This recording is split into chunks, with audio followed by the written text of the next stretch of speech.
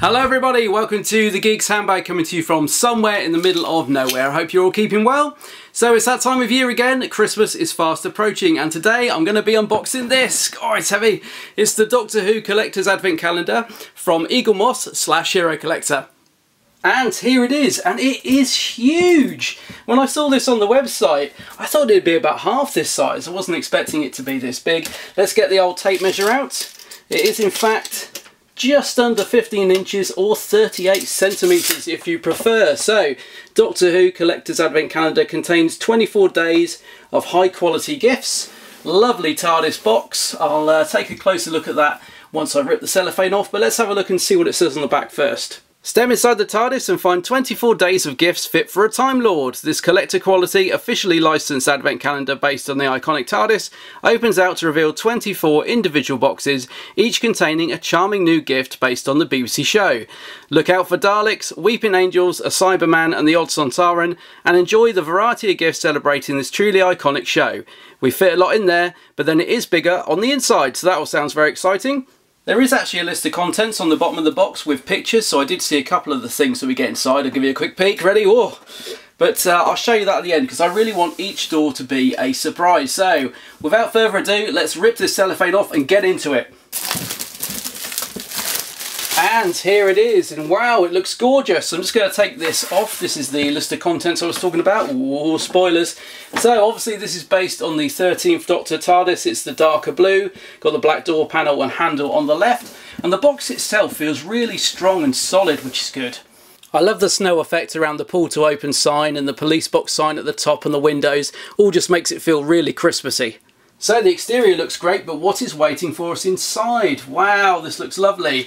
Obviously it's the 13th Doctor TARDIS interior, got those big old crystal columns. Here's all the boxes with the goodies inside. Ooh, door number 19 appears to be an envelope, that's interesting. Now, I am going to be opening every single door and showing you the entire contents of the Advent calendar. So, if you bought one or you want it kept as a surprise, I'd switch off now. But for those of us who want to see, let's open door number one. Ooh, almost feels like a game of Jenga. I feel like everything's going to topple over. Right.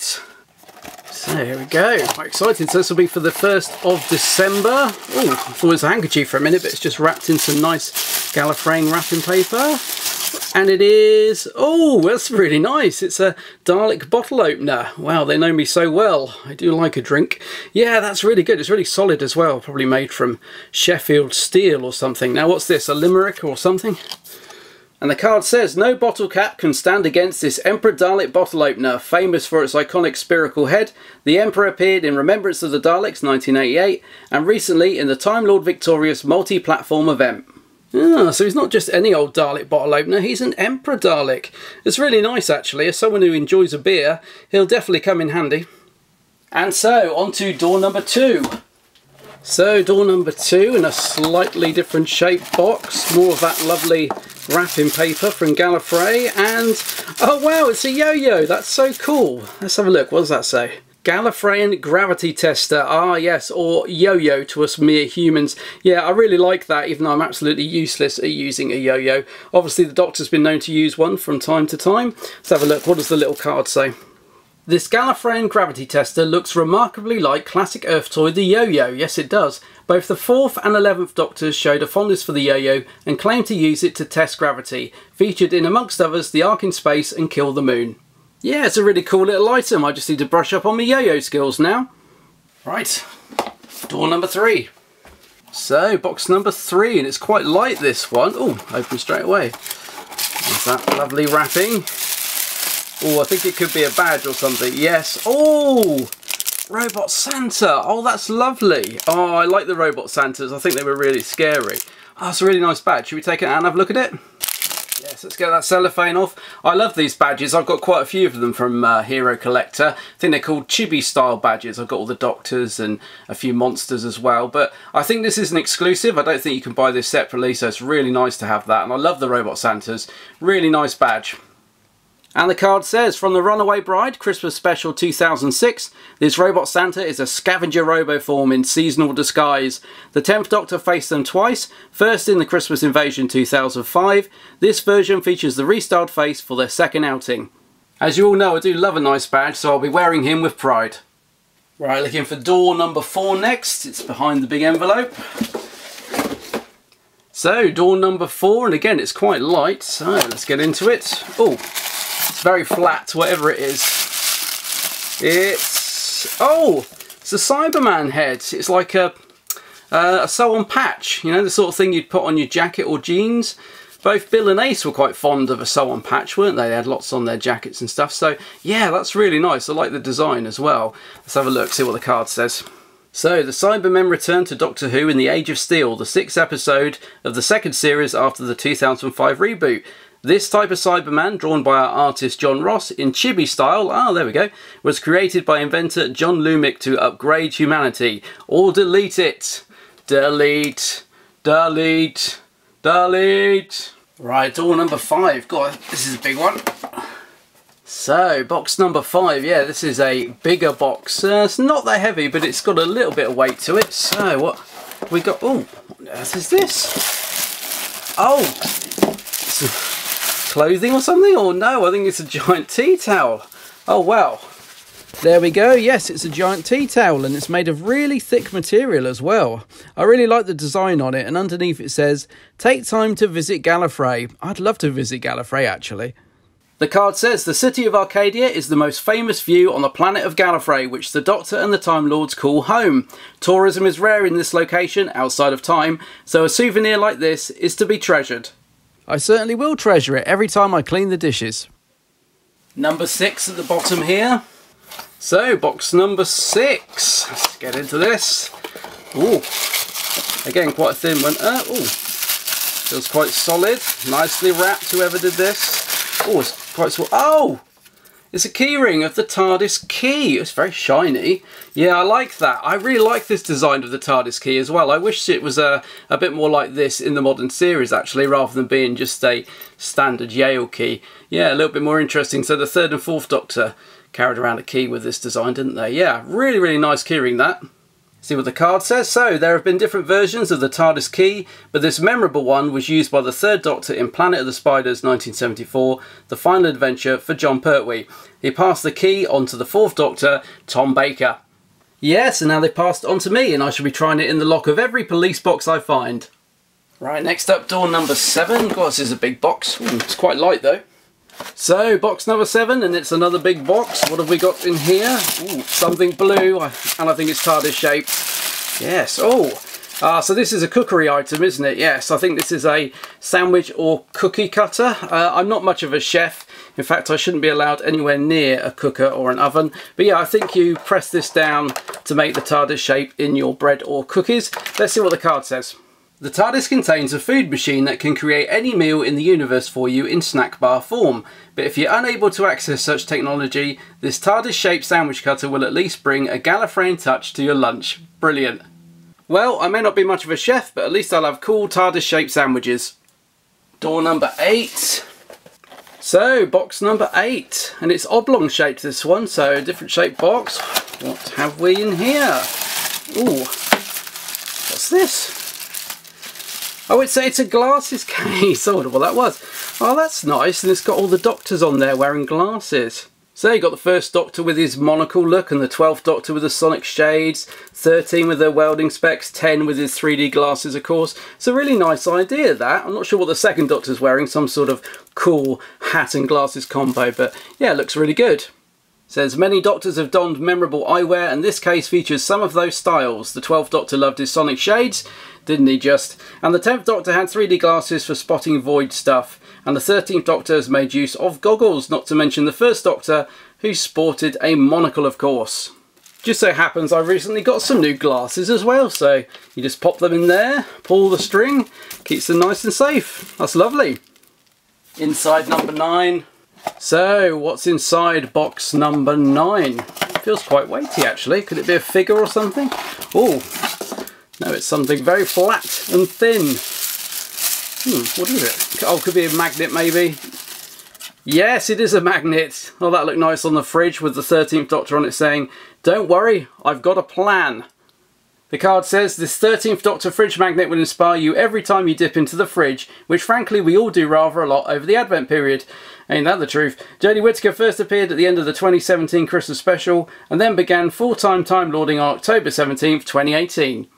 So just need to make a bit of room on the fridge. Now there we go. Perfect. Number 10.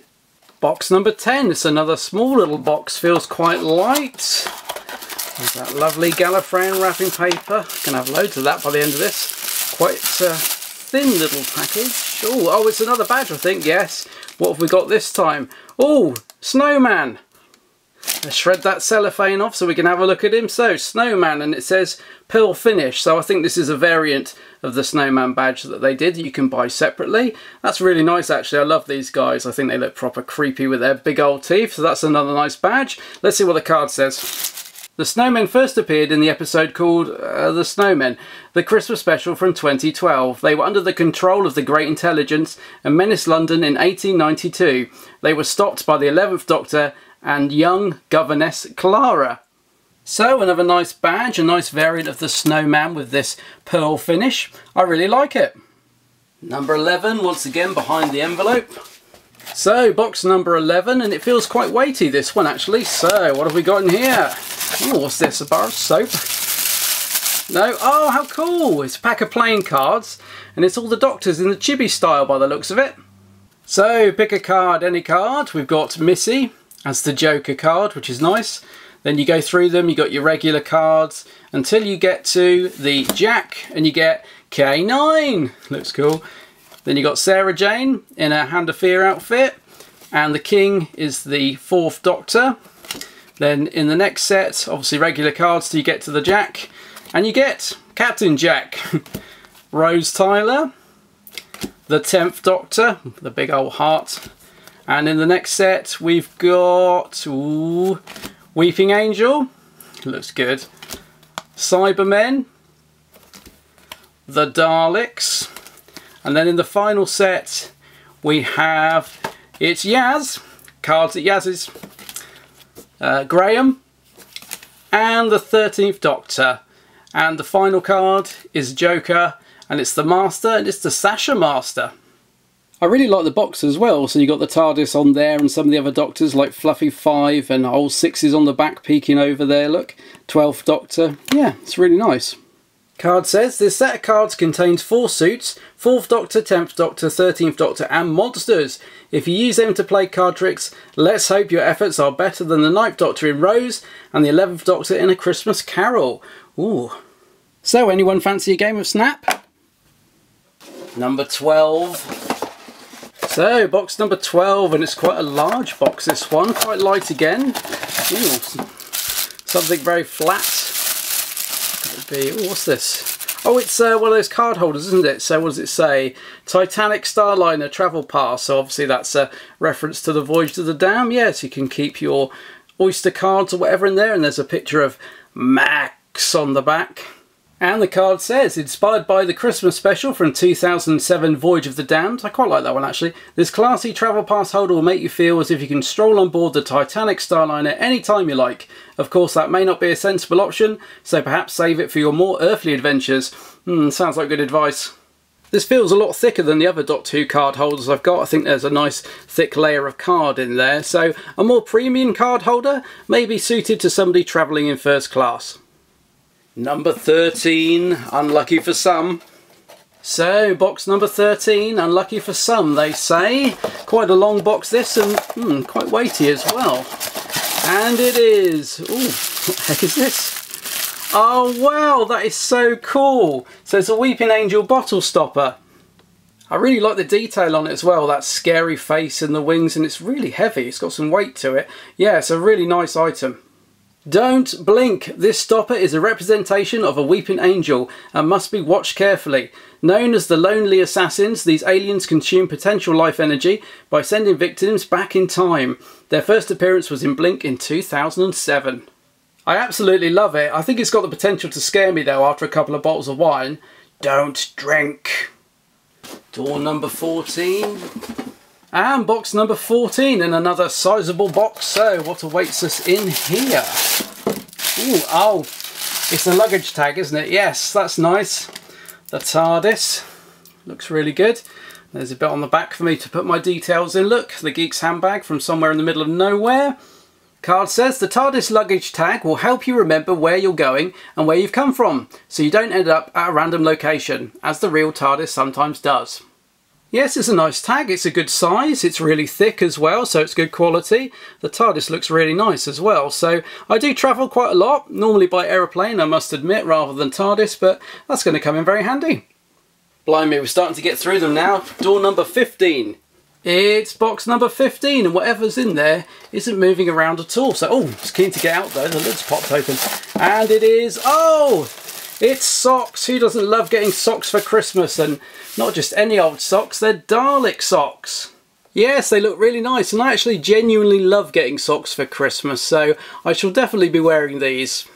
Exterminate the problem of having cold feet with these unique Dalek socks. The Daleks are the oldest foe the Doctor has, first appearing in the second ever serial in 1963. They have become a worldwide phenomenon, even making it into the dictionary. As they lack feet to enjoy them, these socks are sure to only increase their generally bad mood. I love it. And I shall wear them with pride. Oh, it's fallen upside down. Number 16. So, box number 16. Quite like this one. And we have... Ooh. Oh, we've got another badge. Who have we got this time? Oh, it's the 11th Doctor. So, cellophane off. Yes, it's the 11th Doctor in his big old top hat. This is the costume he wore in the Snowmen, isn't it? So I've not seen this badge before. I assume it's another exclusive to this advent calendar. Looks really nice. Let's have a look at the card. So it says, this is the 11th Doctor Matt Smith as he appeared in The Snowmen, his third Christmas special. In suitable Victorian attire, he visited 1892 and defeated the Great Intelligence and some rather frosty snowmen, with the help of mysterious governess Clara. Matt's actually one of my favourite Doctors, and I really like the outfit he wore in The Snowmen, so it's a really nice badge to have. 17. Okay, box number 17, and actually this is probably the lightest box I've had so far, so what have we got in here? Ooh, something very flat, and it is... Oh, it's a sticker of the Fourth Doctor by looks of it, yes. That looks nice.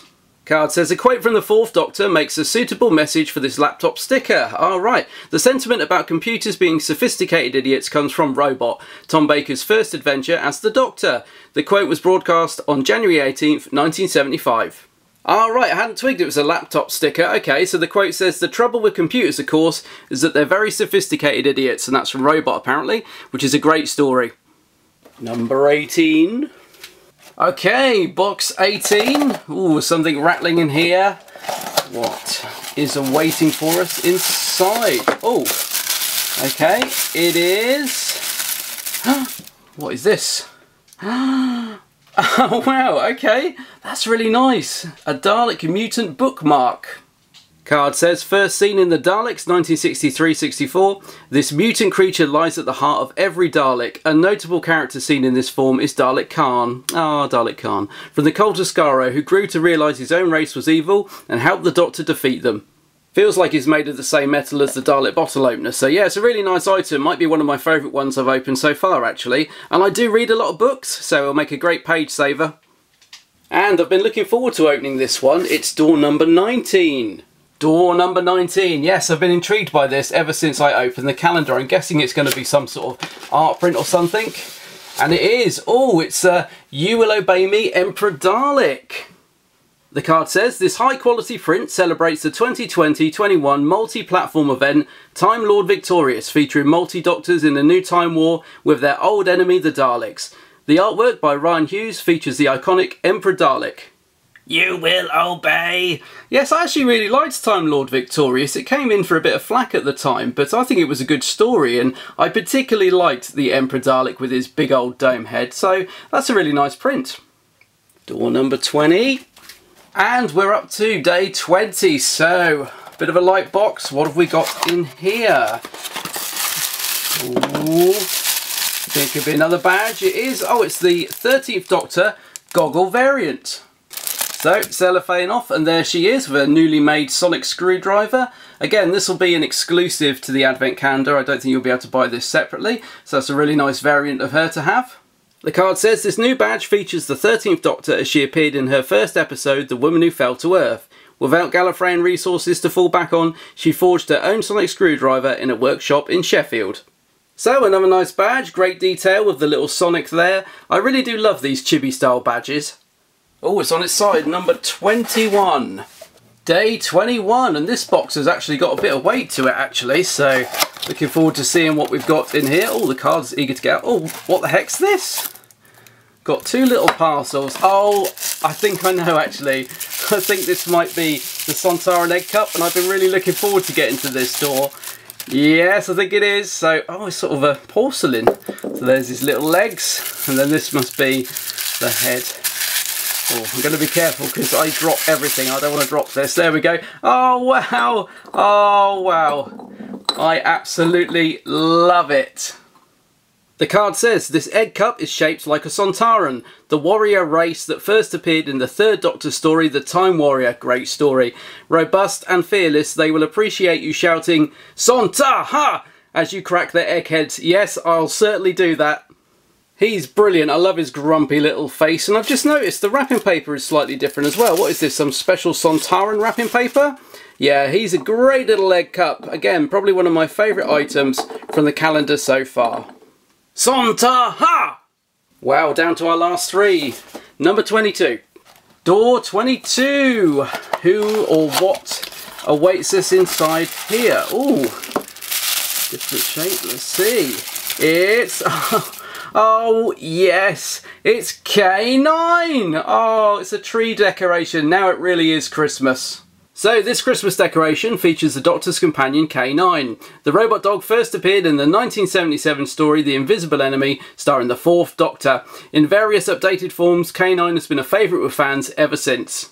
I have to say, he really does look great. Some really nice detail on him. He's got a bit of weight to him as well. And regular viewers will know how much I love K9, so he'll definitely be going on the Christmas tree.